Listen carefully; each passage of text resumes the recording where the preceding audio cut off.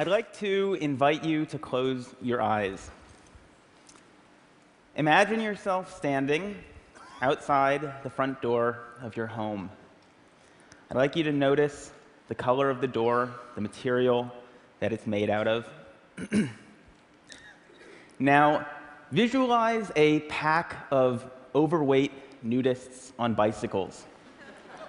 They are competing in a naked bicycle race and they are headed straight for your front door. I need you to actually see this. They are pedaling really hard, they're sweaty, uh, they're bouncing around a lot, and they crash straight into the front door of your home. Bicycles fly everywhere, wheels roll past you, spokes end up in awkward places. Step over the threshold of your door into your foyer, your hallway, whatever's on the other side, and appreciate the quality of the light. The light is shining down on Cookie Monster. Cookie Monster is waving at you from his perch on top of a tan horse. It's a talking horse. You can practically feel his blue fur tickling your nose. You can smell the oatmeal raisin cookie that he's about to shovel into his mouth. Walk past him. Walk past him into your living room. In your living room, in full imaginative broadband, picture Britney Spears.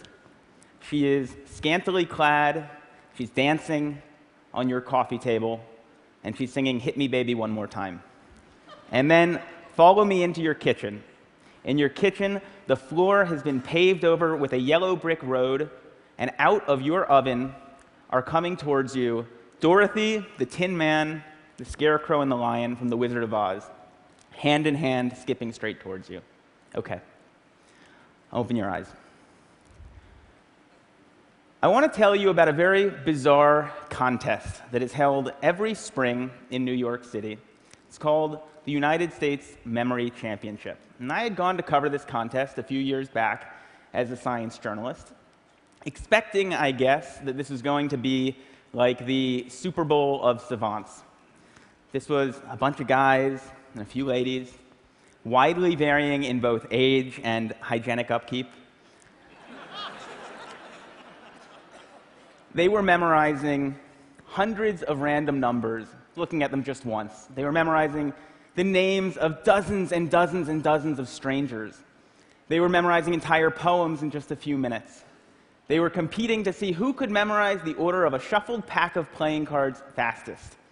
And I was like, this is unbelievable. These people must be freaks of nature. And I started talking to a few of the competitors. This is a guy called Ed Cook who had come over from England where he had one of the best trained memories. And I said to him, Ed, when did you realize that you were a savant? And Ed was like, I'm not a savant. In fact, I have just an average memory. Everybody who competes in this contest will tell you that they have just an average memory.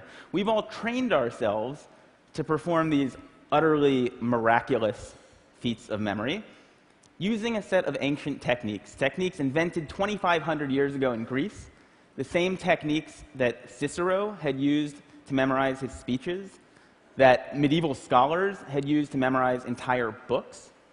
And I was like, whoa, how come I never heard of this before? And we were standing outside the competition hall, and Ed, who is a wonderful, brilliant, but somewhat eccentric English guy, says to me, Josh, you're an American journalist. Do you know Britney Spears? I'm like, What? no, why? Because I really want to teach Britney Spears how to memorize the order of a shuffled pack of playing cards on US national television. It will prove to the world that anybody can do this.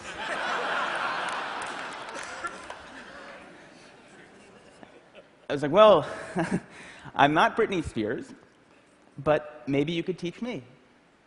I mean, you got to start somewhere, right? And that was the beginning of a very strange journey for me.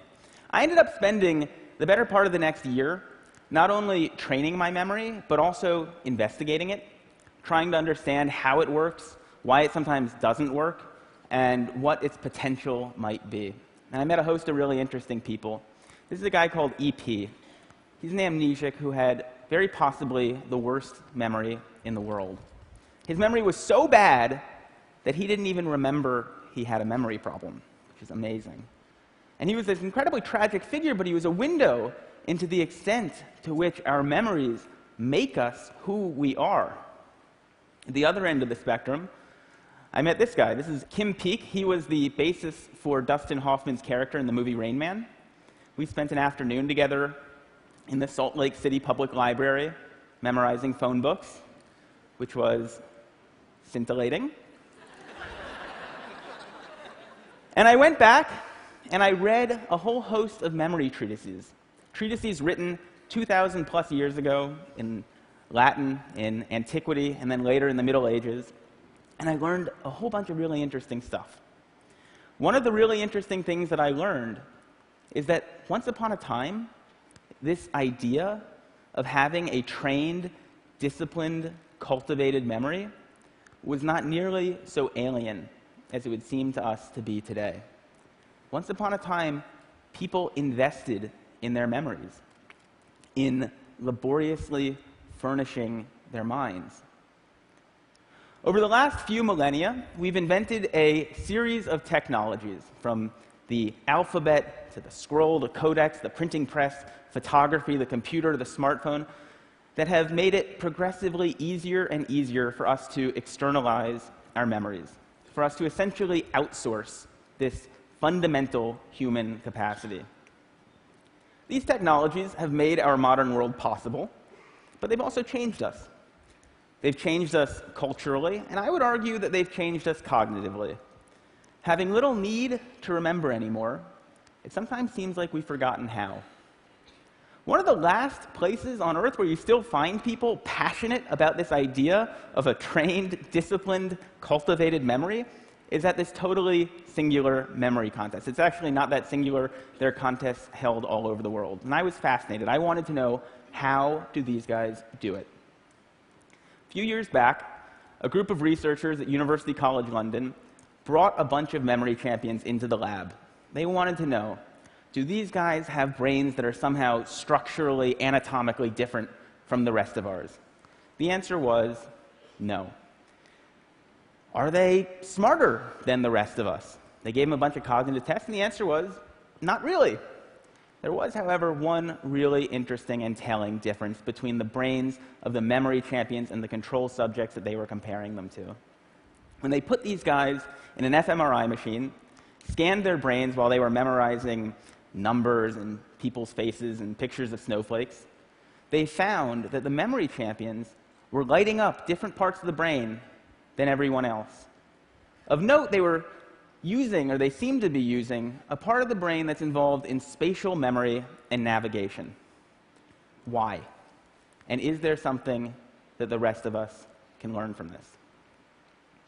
The sport of competitive memorizing is driven by a kind of arms race, where every year somebody comes up with a new way to remember more stuff more quickly, and then the rest of the field has to play catch up.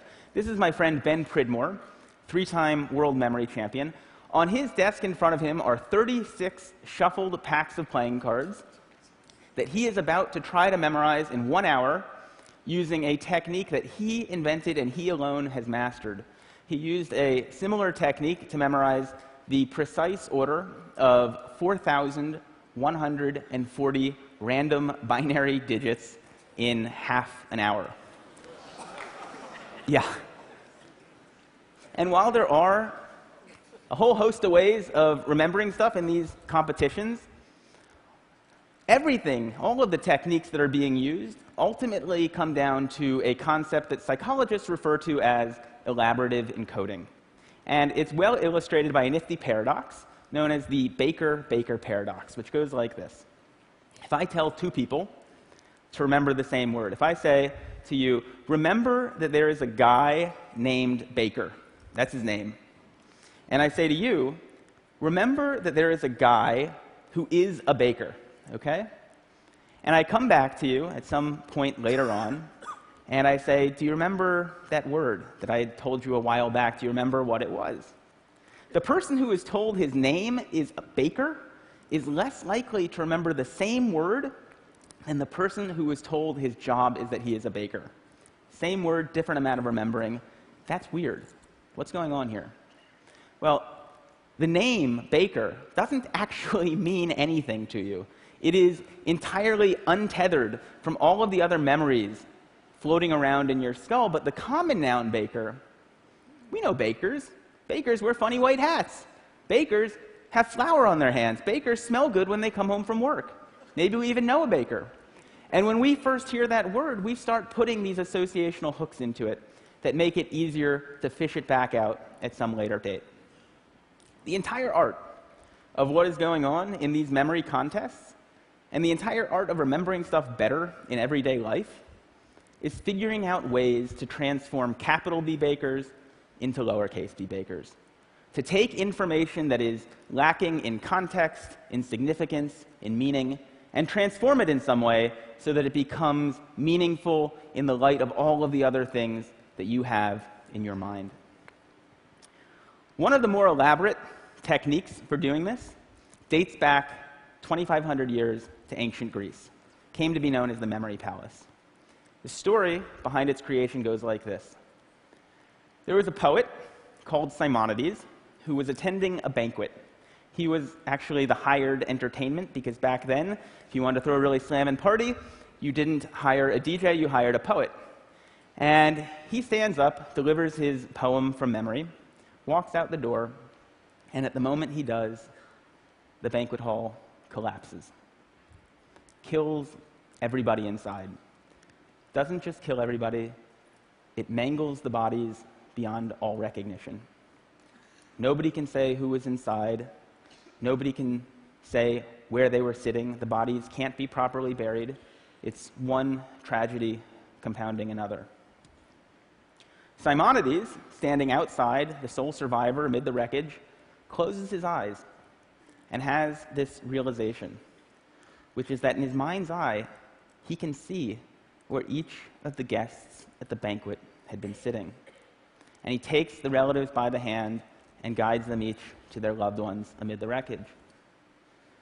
What Simonides figured out at that moment is something that I think we all kind of intuitively know, which is that as bad as we are at remembering names and phone numbers and word for word instructions from our colleagues, we have really exceptional visual and spatial memories. If I asked you to recount the first 10 words of the story that I just told you about Simonides, chances are you would have a tough time with it. But I would wager that if I asked you to recall who is sitting on top of a talking tan horse in your foyer right now, you would be able to see that. The idea behind the memory palace is to create this imagined edifice in your mind's eye and populate it with images of the things that you want to remember the crazier, weirder, more bizarre, funnier, raunchier, stinkier the image is, the more unforgettable it's likely to be. This is advice that goes back 2,000 plus years to the earliest Latin memory treatises. So, how does this work? Let's say that you've been invited to TED Center Stage to give a speech, and you want to do it from memory. And you want to do it the way that Cicero would have done it if he had been invited to TEDx Rome 2,000 years ago. what you might do is picture yourself at the front door of your house. And you'd come up with some sort of an absolutely crazy, ridiculous, unforgettable image to remind you that the first thing you want to talk about is this totally bizarre contest. and then you'd go inside your house and you would see an image of Cookie Monster on top of Mr. Ed. And that would remind you that you want to then introduce your friend Ed Cook. And then you'd see an image of Britney Spears to remind you of this funny anecdote you want to tell. And you go into your kitchen, and the fourth topic you were going to talk about was this strange journey that you went on for a year, and you'd have some friends to help you remember that. This is how Roman orators memorize their speeches. Not word for word, which is just going to screw you up, but topic for topic. In fact, the phrase topic sentence, that comes from the Greek word topos, which means place. That's a vestige of when people used to think about oratory and rhetoric in these sorts of spatial terms. The phrase, in the first place, that's like in the first place of your memory palace. I thought this was just fascinating, and I got really into it. And I went to a few more of these memory contests, and I had this notion that I might write something longer about this subculture of competitive memorizers. But there was a problem. The problem was that a memory contest is a pathologically boring event. Truly, it is like a bunch of people sitting around taking the SATs. I mean, the most dramatic it gets is when somebody starts massaging their temples. And I'm a journalist. I need something to write about. You know, I know that there's this incredible stuff happening in these people's minds, but I don't have access to it. And I realized if I was going to tell this story, I needed to walk in their shoes a little bit. And so I started trying to spend 15 or 20 minutes every morning before I sat down with my New York Times, just trying to remember something. Maybe it was a poem, maybe it was names from an old yearbook that I bought at a flea market. And I found that this was shockingly fun. I never would have expected that. It was fun because this is actually not about training your memory. What you're doing is you're trying to get better and better and better at creating, at dreaming up these utterly ludicrous, raunchy, hilarious, and hopefully unforgettable images in your mind's eye. And I got pretty into it. This is me wearing my standard competitive memorizers training kit. It's a pair of earmuffs and a set of safety goggles that have been masked over, except for two small pinholes, because distraction is the competitive memorizer's greatest enemy. I ended up coming back to that same contest that I had covered a year earlier, and I had this notion that I might enter it, sort of as an experiment in participatory journalism. It'd make, I thought, maybe a nice epilogue to all my research. Problem was, the experiment went haywire. I won the contest, which, which really wasn't supposed to happen.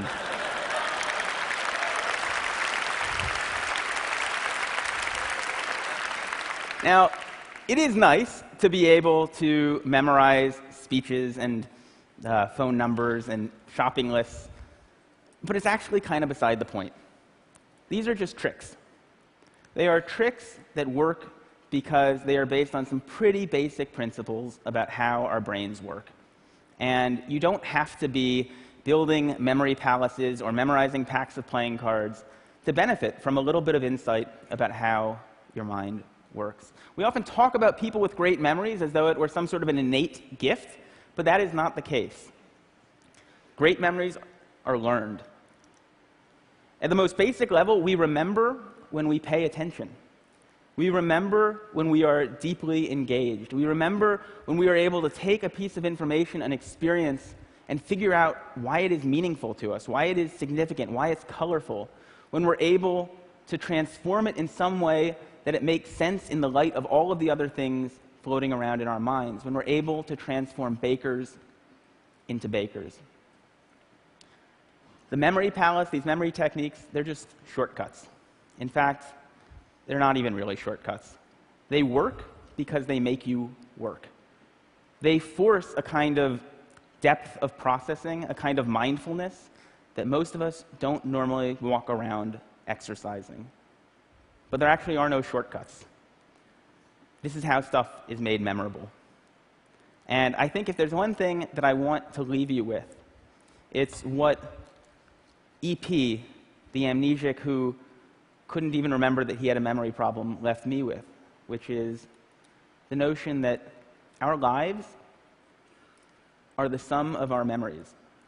How much are we willing to lose from our already short lives by losing ourselves in our Blackberries, our iPhones, by not paying attention to the human being across from us who is talking with us, by being so lazy that we're not willing to process deeply.